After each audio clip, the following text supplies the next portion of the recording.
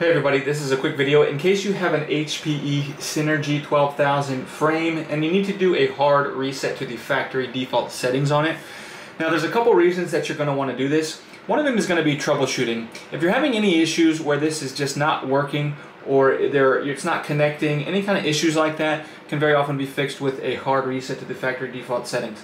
You're also going to want to do this prior to moving a frame to a new HPE OneView environment or if you perform a factory reset of the HPE Synergy Composer that manages this frame, you're going to want to go ahead and do the factory reset on the frame as well.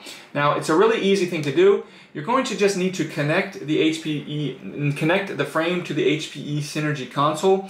And from there, you can just go um, to the select actions. And from actions, you'll select FLM Diagnostics. And from FLM Diagnostics, you will select Factory Reset.